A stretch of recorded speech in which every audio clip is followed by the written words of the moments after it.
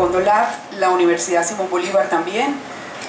Pues me encanta saludarlos y estar aquí acompañándolos para presentarles una de las primeras plataformas de inteligencia artificial en el mundo para la oftalmología, creada por el Centro de Investigación de la Clínica Oftalmológica del Caribe en alianza con Macondo Lab de la Universidad Simón Bolívar.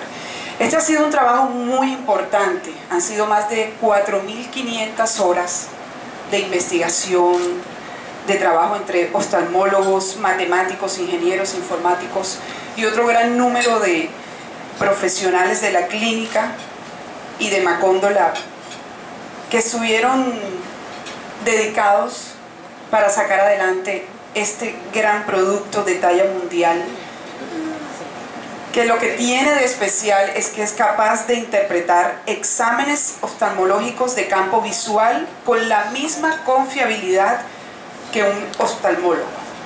Imagínense cómo vamos avanzando. Esto es bien importante. Y el nombre se le ha dado en homenaje a la doctora Patricia Amariz, que se encuentra con nosotros en el panel. Bienvenida, doctora Patricia. Ella es la primera glaucomatóloga de la clínica. Un aplauso para la doctora. Y para presentarles este gran logro de ciudad se encuentra con nosotros en el panel el doctor Luis Scaff, director científico y fundador de la Clínica Oftalmológica del Caribe. Bienvenido doctor, nos encanta estar aquí con usted. El ingeniero Jorge Martínez, gerente general de la clínica. El doctor Oliver Antequera, el doctor José Luis Rodríguez y la doctora Patricia Amariz, como parte del equipo glaucomotólogos de la clínica. Igualmente nos acompaña la doctora Paola Amar, vicerrectora de Investigación e Innovación de la Universidad Simón Bolívar, quien es también la CEO de Macondola. A continuación le doy la bienvenida al ingeniero Jorge Martínez, el doctor Luis Scaff y la doctora Paola Amar. Ellos nos van a presentar este gran proyecto innovador. Patri tiene algo muy bonito en su concesión. Eh, en los libros, cuando se habla de innovación, se habla de esa alianza universidad, empresa, Estado y sociedad, que a veces es muy difícil de consolidar. Y en este proyecto se ha consolidado y se ha fortalecido esa alianza fuertemente. ¿Por qué? Porque aquí logramos establecer una alianza entre la Universidad Simón Bolívar, la Clínica Oftalmológica del Caribe, desarrollando un proyecto para la sociedad con el apoyo del gobierno eh, para la realización de, esta innovación se necesitan muchos recursos y contamos con la cofinanciación de entidades como Colciencia, de entidades como el Ministerio de las TIC, las cuales hicieron factible que esto ocurriera. En el mundo se hacen un poco más de 30 millones de campos visuales. Desarrollar una herramienta como esta que nos permita masificar el diagnóstico y la eh, tamizaje de campo visual es extremadamente importante para nosotros como una clínica, tanto como para la comunidad científica. Tenemos la fortuna de decirles que así nace Patri, a través de todo este proyecto. Hola Patri, no precisamente, pero ya que estás aquí, cuéntanos quién eres.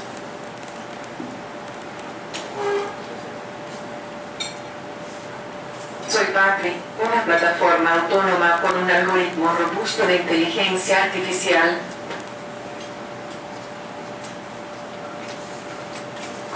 Se supone que debe salir Patri, pero bueno.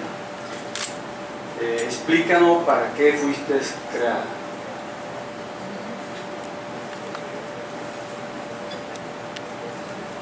Doctor Scaff, llevamos más de 4.000 horas trabajando para mi creación y me hace esta pregunta. Bueno, la respuesta realmente no es para mí, sino para el auditorio. Soy robot, pero no dejo de ser mujer, así que es parte de mi algoritmo regañarlo algunas veces, doctor Scaff. Soy creada para apoyar a los oftalmólogos en los diagnósticos médicos interpretando imágenes. ¿Qué tan confiable eres? Como cualquier mujer, soy 100% confiable. En el último estudio clínico que se está ejecutando, un resultado preliminar dice que soy tan confiable como un oftalmólogo experto en lectura de campos visuales computarizados. Qué alegría que existas y de dónde salió ese nombre. Mi nombre es un homenaje a la doctora Patricia Amariz, la primera glaucomatóloga de la clínica yo diría que madre es una forma evolucionada y moderna de Patricia. Patricia inició el camino cuando leía grandes paquetes de hojas llenas de campos visuales. Yo hago un procesamiento de datos electrónicos que genera el mismo resultado. Mi algoritmo está diseñado para trabajar, no para conversar. Me voy a leer campos visuales. Hasta pronto.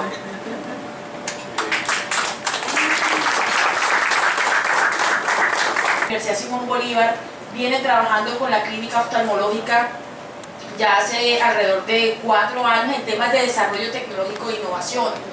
Y ojalá tuviéramos más empresas como la Clínica Oftalmológica del Caribe que le apuestan a seguir eh, diversificando sus productos, su desarrollo tecnológico y la innovación. Eh, llevamos un gran tiempo tratando de mover al empresariado del Caribe, al empresariado colombiano en temas de innovación y a veces es difícil. Tenemos pocas empresas que invierten en esto, que creen que sofisticando su servicio al final van a mejorar su competitividad. Y hoy la Clínica Oftalmológica del Caribe es un referente nacional frente a estos desempeño. Y esto muestra el gran crecimiento. También quiero decir que esto ha sido un ejercicio de colaboración y co-creación no fueron los técnicos de la Universidad Simón Bolívar que transfirieron a la clínica ni la clínica sola, fue un ejercicio de co-creación clínica oftalmológica del Caribe más controlado, de manera más rápida y hoy pues lanzándolo al, tema. También quiero agradecer a Conciencias, creo estos instrumentos de conciencia donde nos ponen a trabajar a las empresas, a las universidades, eh, son fundamentales. Eh, aunque yo soy académica, siempre hay un autor que se llama Bossier, que habla de regiones inteligentes y regiones no inteligentes y lo que diferencia a la región inteligente de las no es la capacidad de interacción de los diferentes actores de su territorio. Cuando la clínica trabaja con la universidad y la universidad con la clínica, ambos aprendemos a apuntalarle como territorio. Y gracias a la clínica oftalmológica del Caribe y por ir de la mano también, vamos de la mano con ustedes como Universidad Simón Bolívar, es convertir al Atlántico en eso, en un territorio inteligente. Y Patri hoy es un ejemplo de que sí es posible hacer tecnología en Barranquilla, en el Caribe y en Colombia. Entonces, hasta aquí realmente para la universidad es nuestro aliado estratégico 1A, es la empresa realmente que confió en la Universidad Simón Bolívar y en Macondo cuando no estábamos en el estandarte de desarrollo tecnológico e innovación. Hoy somos la primera universidad del país con capacidad de desarrollo tecnológico e innovación según el ranking Sapiens. Eh, y cuando no éramos tan eh, ni reconocidos, yo sí quiero agradecer a la Clínica Oftalmológica del Caribe en haber confiado en las capacidades del equipo de la universidad. Y esto nos ha hecho acrecentar mucho más nuestro conocimiento. ¿Por qué? Porque hemos aprendido de este trabajo conjunto y lo ponemos al servicio de la sociedad. Así que felicitaciones a la clínica, sé que tiene un desafío las implementaciones, pero es una gran noticia para la ciudad y para la competitividad de la ciudad, pero sobre todo para la atención en salud para nuestra sociedad caribe. Muchísimas gracias.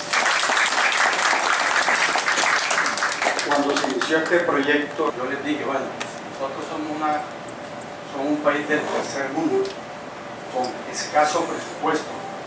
Sí vamos a poder hacer esto y no vamos a salir con un chorro de babas y hacer el ridículo. Pero bueno, durante todo este tiempo me demostraron lo contrario y yo quiero que, que participen los glaucomatólogos. Nosotros tenemos un departamento de glaucoma integrado por seis oftalmólogos, tres que han sentado aquí en la mesa, la doctora Norita está al frente y otros dos no pudieron venir porque están en, pacientes atendiendo, ¿no? Entonces, Oliver, cuéntame tu experiencia, tú que vienes de Estados Unidos y has tenido oportunidad de hacer investigación en Estados Unidos y en otros países que tuviste la oportunidad de viajar a otros países a validar esta plataforma. Sin ser oftalmólogo, empecé a hacer investigación en glaucoma. Y lo que dice el doctor Scaff, para hacer investigación se necesita un músculo financiero y un apoyo, eh, tanto, tanto no solamente financiero, sino científico, que es lo más difícil lo más difícil de, adquirir, eh, el talento humano. Y la verdad para mí, yo estuve mucho tiempo en Estados Unidos haciendo investigación, después me fui a Argentina, fue muy grato llegar acá a Barranquilla, yo tengo un año y, un mes de estar acá en Barranquilla de vuelta, y fue muy grato llegar acá cuando, cuando llegué a la clínica y, el doctor Scafi y Jorge me invitaron a, a, ser parte del proyecto. Muy grato ver el, el, tema del equipo, primero el talento que, que hay acá en, Barranquilla, eh, me impresionó gratamente el, laboratorio Macondo Lab, eh, la manera de trabajar, eh, el entusiasmo y, los logros que ya han tenido con, empezando de cero. Entonces para mí fue, fue bastante, bastante interesante.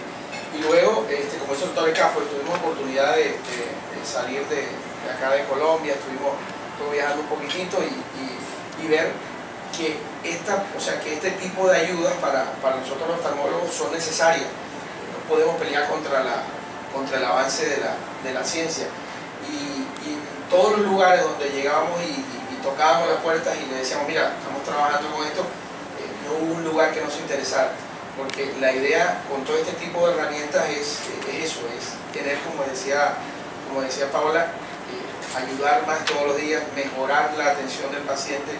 Eh, no sé si lo notaron en, la, en una de las diapositivas que, mostraba el ingeniero, es que en Colombia, me, corrige la doctora Patricia, que es la presidenta de la Sociedad de Glaucoma de acá de Colombia, son aproximadamente 100 glaucomatólogos, quizás un poquitito más, en todo el país. O sea, y es una patología que, si me corrige el doctor Scaff, en la, en la clínica es una de las principales eh, principales motivos de consulta, pero eh, tiene un campo visual, paciente que tiene una sospecha, se analiza el campo visual y por lo menos identificar, decir, bueno, este paciente tiene un cambio, se lo derivo al, subespecialista o lo derivo a otra institución de mayor, de mayor, eh, de la verdad que, eh, para mí fue bastante grato. Que realmente significa una cosa más trascendental que simplemente el hecho de abreviar a Patricia. Eh, sí, eh, felicito a la clínica, felicito por estar formando parte de ella, felicito a los creadores de las ideas, a la Universidad Simón Bolívar por darnos el apoyo, porque realmente a partir de hoy tenemos a toda la audiencia, a todos los periodistas, a todos los medios, a los de otras eh, casas comerciales, aún no hay ningún examen funcional que sea que lo reemplace siempre va a ser el paciente que va a decir lo que ve. Y tenemos a Patrick que nos va a ayudar a interpretarlo. Como una máquina, como un robot que se ha alimentado de muchísima información, pienso que al principio vamos a tener que complementarla mucho. O sea, como digo, estamos a la mano de la tecnología, estamos en las tendencias. Y la tendencia es buscar cosas que ayuden a interpretar. Definitivamente el mundo futuro va a ser con robots, y vamos a tener que estar reemplazando ellos para, para su mejor eficiencia. Eh, yo como la representante de Glaucoma en Colombia me siento muy satisfecha y muy contenta por participar en esto. Perdón. Y como le digo, es un reto a partir de hoy. Y a partir de hoy nosotros tenemos que sacar la cara por algo que tiene que ser excepcional, porque en Colombia es el primer intento de llevar a cabo una tecnología de punta a nivel nacional y a nivel costeño principalmente. Aquí tenemos al doctor José Luis Rodríguez, que actualmente es el jefe del departamento de este grupo de glaucoma, en el cual también quisiera que hiciera un comentario. Y bueno, y gracias por asistir a todos, y doctor K, Jorge, etcétera, etcétera. Eh, doctora Paula, eh, lo felicito y me felicito por estar aquí. El glaucoma es una enfermedad, es la primera causa a nivel mundial de ceguera. Es decir, su, relevancia es, importantísima. La enfermedad no tiene una cura como tal. Lo que nosotros hacemos con la enfermedad es controlarla, manejarla para evitar la progresión de la enfermedad. Eh, pero si nos damos cuenta, para una población de más de 40 millones de habitantes, 100 eh, personas no van a ser suficientes para abarcar eh, todo el impacto que genera esta enfermedad. Entonces, eh, el nosotros poder contar con este tipo de instrumentos que pueden llegar a ayudar a aquellas personas que no tienen el manejo eh, tan avanzado de la enfermedad eh, es fundamental. Entonces, eh, es, es, una idea eh, que puede eh, seguramente ayudar en muchos lugares con el diagnóstico, con el seguimiento de la enfermedad. Como clínica nos enorgullece mucho. Por ejemplo, miren, en Dinamarca están trabajando en un sistema de inteligencia artificial que les ayuda a controlar las, las urgencias. se combina la inteligencia artificial con la parte humana y llegan a tratar de dar respuestas más oportunas a las urgencias realmente vitales. El sistema de inteligencia artificial escucha las llamadas y por el grado que se describe en la llamada define si una urgencia es prioritaria o no y ha dado muy buenos resultados. En Rusia están haciendo lo mismo para marcadores tumorales en cáncer de pulmón. Entonces, el mundo va para allá, el mundo va camino a la, a la, a la inteligencia artificial y hoy en día en Barranquilla, en la Clínica Oftalmológica del Caribe, dimos un paso muy importante que hasta el momento muy pocas entidades en el mundo han logrado conseguir. Entonces yo quiero que nos sintamos de verdad muy orgullosos de este producto porque es algo, es una innovación muy, muy importante para nuestra región, para una universidad que le está apostando a la investigación y para nosotros como clínica que también desde hace rato venimos apostándole a la investigación. Para los que no nos conocen mucho, la Clínica Oftalmológica del Caribe, eh, desde sus inicios, ha tenido en su ADN temas de investigación e innovación. Tenemos varias patentes eh, aprobadas, tenemos otras patentes en curso, tenemos un centro de investigaciones eh, formalmente constituido, hemos sido reconocidos por el INVIMA como centro de investigaciones clínicas, hemos sido reconocidos varias veces por Conciencia como empresa altamente innovadora esto no es un trabajo de ayer, son muchas personas que no alcanzan a estar aquí en este panel y de pronto en este auditorio que han venido trabajando para que proyectos como estos sean una realidad, para ayudar a que ese diagnóstico que queremos llegar sea más certero, pero de la mano del oftalmólogo. Quiero agregar, Jorge, que igualmente los oftalmólogos en formación de la Javeriana vienen a estar con nosotros tenemos un programa, un proyecto andando, es decir, el oftalmólogo que ya termina tiene la posibilidad de subespecializarse en estos momentos en glaucoma, en segmento anterior, catarata, retina. Hemos formado más de 200 oftalmólogos de toda América Latina, inclusive de Europa, de Italia, de Azerbaiyán, durante España, durante estos últimos 15 años, que han venido a la clínica estarse uno o dos años con nosotros, eh, eh, aprendiendo de las técnicas, tenemos técnicas propias. Inclusive vale recordar y vale decir, tenemos el único simulador, es la única clínica en América Latina que tiene un simulador para enseñar a operar al médico antes de tocar un paciente son una serie de puntos, son una serie de imágenes eh, que se necesita un entrenamiento especial eh, para poder interpretarlas. Ese entrenamiento lo tienen los oftalmólogos especialistas en glaucoma, no todos los oftalmólogos lo tienen. Y uno le carga eso a Patri y Patri inmediatamente bota un reporte. Ahí está cargando.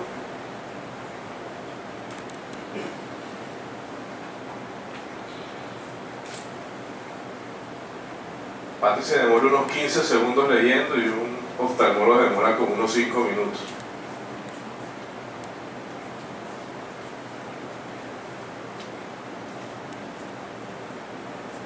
Ahí está, el reporte. De los médicos nos valide si estuvo bien. Con más de 500 casos en los cuales se hizo una confrontación entre los resultados de Patri y los resultados de un experto en glaucoma, que en este caso fue el doctor Oliver Antequera que nos estuvo acompañando. Eh, estas tecnologías se van refinando en la medida en que van aprendiendo, por eso se llama inteligencia artificial, y creemos que de aquí a que se termine el estudio vamos a estar casi en un 100% de certeza. El botón, se le entrega al paciente un botón parecido a un mouse si no ve el estímulo eh, luminoso, no lo, no lo hunde. Y estos estudios tienen también unos marcadores para saber si el estudio es confiable o no es confiable. Es decir, si un paciente cuando realiza ese estudio tiene, en general para los estudios internacionales se, se dice que cuando tiene por encima del 33% de errores, ya sea falso positivo o falso negativo, o errores de fijación, es decir, el paciente esté moviendo mucho el ojo y no esté fijando en el punto que tiene que fijar, eh, digamos, baja la, el grado de confiabilidad de, de, esos estudios. No solamente hace la interpretación, sino que, que coloca eh, el, el, patrón de desviación, es decir, qué, tan, qué tanto daño, qué tanto, cuáles son los escotomas, las horas donde el paciente no esté hablando, sino que se fija al lado derecho, al lado, bueno, al lado izquierdo suyo, eh, abajo dice confiabilidad de prueba baja, o sea, la máquina también detecta el hecho de que este paciente cometió más de un 33% de errores. Y eso es muy importante porque uno como especialista, eh, nosotros los especialistas, le tenemos que explicar al paciente, el paciente viene y dice, bueno doctor, usted por qué me hace tantos estudios a mí? Yo vengo acá dos, tres veces al año y cada vez que vengo a ponerle un estudio, porque básicamente para saber si la patología está evolucionando o no está evolucionando, tenemos que estos estudios irlos comparando para ver si el paciente está y, y, cómo realizamos esas comparaciones también teniendo exámenes que sean confiables. Entonces en este caso, por ejemplo, fíjense, en el ojo derecho está diciendo que tiene este patrón de daño, pero que la prueba es de confiabilidad baja, porque el paciente cometió varios errores. Yo no sé qué tan familiarizados puedan estar ustedes cómo se hace un campo visual. Yo pienso que es fundamental entenderlo para poder decir, eh, ¿cuántas personas aquí se han hecho un campo visual alguna vez? Ok, saben que los meten en un cuarto que debe estar aislado del ruido, que deben concentrarse en una cúpula y mirar un punto. Y eso es como yo lo miro a usted, pero yo estoy viendo a Jorge. Yo la estoy viendo de refilón, como decimos los costeños, a ella. Esa capacidad se pierde cuando tenemos el campo visual alterado y por eso mucha gente cuando ya tiene un glaucoma avanzado se tropieza con todo, se lleva lo de abajo, se lleva lo de arriba, porque se examina ojo por ojo y no da la información. Ahora, yo quiero dejar claro que los exámenes no dicen el diagnóstico, porque la gente viene y se me hizo un campo visual, pero no dice que tenga glaucoma, no dice que tenga algo. Inicialmente era un concepto que había de que los exámenes tenían que traer el, el diagnóstico. No, es que realmente nos hace pensar con un examen correcto que tiene el paciente. Acuérdense que el paciente no solamente viene con glaucoma, el paciente puede tener diabetes, puede tener hipertensión, puede tener una obstrucción venosa, de malas el tipo porque tiene un poco de cosas en el ojo. Pero bueno, les digo que, que, el examen está perfectamente leído. Ese examen está perfectamente leído como concepto oftalmológico y bueno, y dice fuera lo normal y usted debe concluirlo con su oftalmólogo para hacer una correlación. Eso es lo que quería dejar claro. No trae nombre. Dice fuera o de, dentro o fuera de los límites normales. ¿Quién es Patri? ¿A quién beneficia? Y el impacto que esto tiene. Una plataforma autónoma, básicamente, de tecnología para la redacción y la interpretación de estos campos visuales. Como decía la doctora Patricia Maris, aquí, quien es honrada con, con, este nombre, es un instrumento para, para ayudarnos a todos los oftalmólogos, no solamente a los que hacemos glaucoma, a, a identificar patrones, daños, eh, alteraciones que tengan los pacientes en el campo visual, ¿ya? Hay que, hay hacer una aclaración. Patrick no solamente nos, puede ayudar a, identificar eh, glaucoma, de hecho, eh, en el campo visual se ven diferentes alteraciones. Alteraciones podemos identificar si el paciente tiene lesiones maculares, es decir, en el centro de la retina. Patrick no solamente la vamos a utilizar los glaucomatólogos, yo creo que también va a ser una, una ayuda muy importante para los, para los neurooftalmólogos, por ejemplo, para los neurólogos. Eh, fácilmente, por ejemplo, en muchas ocasiones cuántos acá, bueno, oftalmólogos somos los cuantos que estamos acá, pero hemos visto patrones en campo visual que uno dice, este paciente fácilmente puede tener un tumor cerebral. Y exactamente, adenoma de hipófisis, que es uno de los más conocidos, o una lesión en la vía óptica. A veces identificamos accidentes cerebrovasculares que el paciente pueda que no, haya dado, no se haya dado cuenta que tuvo. ¿Por qué? Porque no solamente son identificar patrones glaucomatosos, patrones que están asociados al glaucoma, sino en el campo visual ah, pueden aparecer patrones de otras patologías. Entonces va a ser eh, muy interesante. ¿A quién beneficia? En realidad a todo paciente que le hagamos un campo visual. Y en realidad el campo visual es un estudio que, bueno, nosotros nos dedicamos al glaucoma y, tenemos pacientes que son sospechosos de glaucoma, otros que tienen glaucoma, que utilizamos esta tecnología y otras tecnologías para hacer seguimiento, pero que en algún momento en la vida por lo menos uno debería realizarse uno de los campos visuales al menos sorprendido por la plataforma por Patri. pero no amarísimo, Patri. Eh, definitivamente es un estudio que, además de, de- de las bondades que ustedes le ven como glaucomatólogos, yo le veo otras bondades. El 40% de los tumores benignos del sistema nervioso central se llaman adenomas de hipófisis, tumores de la silla turca.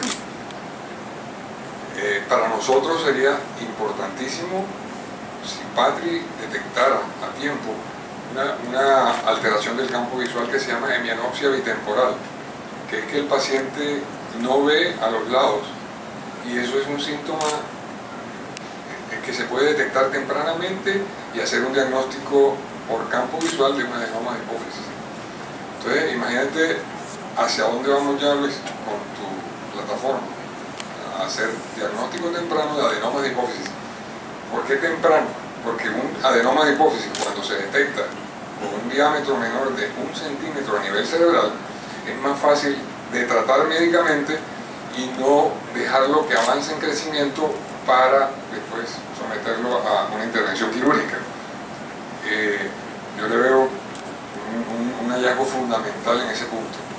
Adicionado a lo que decía el doctor Antequera, las hemianopsias homónimas, eh, alteraciones de campo visuales, cuando vamos a detectar accidentes cerebrovasculares, eh, neuropatías eh, a nivel cerebral, consecuencias de diabetes mellitus a nivel cerebral, nos puede servir muchísimo a neurología y a neurocirugía. También le va a hacer una economía al sistema de salud, que ese paciente no va a terminar en cirugía, en colocaciones de válvulas que generan un alto impacto en las finanzas de la salud pública. Entonces, tiene mucha connotación en la clínica, en el diagnóstico, en el ejercicio, no solamente de la oftalmología, sino de todas las patologías del cerebrales y también impacto en la salud pública, produciendo una economía bárbara en los tratamientos. Y lo que hoy estamos demostrando junto con la Clínica Oftalmológica del Caribe y la Universidad Simón Bolívar es que sí se puede y que sí va a haber un espacio importante para que podamos generar un mejoramiento de la capacidad económica del territorio y una calidad de vida. También quiero agradecer al equipo de, de- de- científicos que trabajaron junto con los, con, los, con los médicos de la clínica y con el centro de investigación. Eh, pues hay dos laboratorios, además de Macondo Lab, pues que trabajamos con el área de prototipaje a cargo de Reinaldo Villarreal. Trabajamos igualmente con nuestro laboratorio de bioinformática y simulación biológica, donde hemos incluido, hoy tenemos una inversión bastante grande en poder hacer procesamiento de gran cantidad de imágenes y datos en un corto tiempo.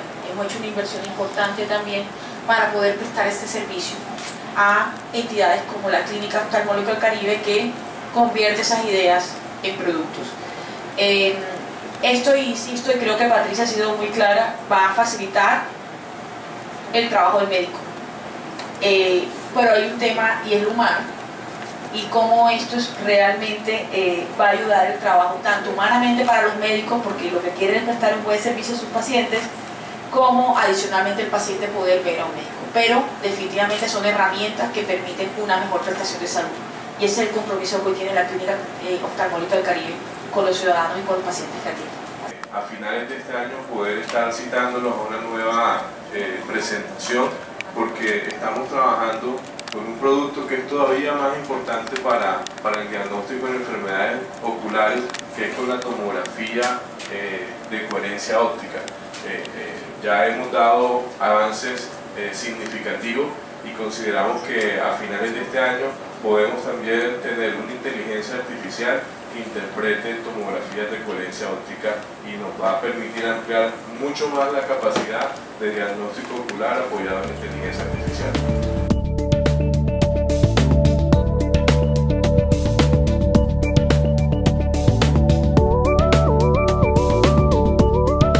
Bueno, hace, hace alrededor de un año, desde la Universidad Simón Bolívar, decidimos hacer un cambio estratégico importante en nuestro foco y en nuestro valor agregado de acompañamiento a las empresas.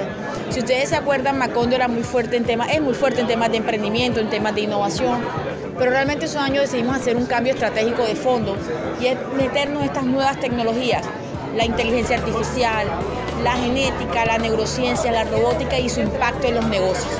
Y es el valor agregado que hoy Macondo en la Universidad Simón Bolívar le está mostrando a la ciudad y al país.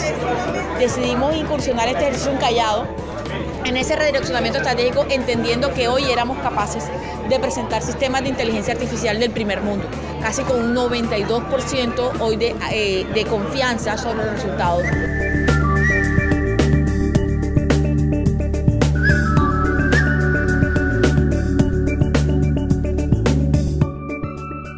Mira, esta es una plataforma que permite leer campos visuales en una forma autónoma, no solamente leerlos, sino redactarlos. ¿Qué es el campo visual? El campo visual es un examen que hacemos, no solamente los oftalmólogos, sino los neurólogos, los neurocirujanos, para detectar anomalías, como su nombre lo indica, del campo visual, especialmente cuando hay tumores cerebrales, glaucoma, que es la primera causa de ceguera no reversible. Entonces, ¿qué permite esto? Que muchos oftalmólogos o muchos neurocirujanos, neurólogos, que no saben interpretar un campo visual, la máquina se lo puede interpretar.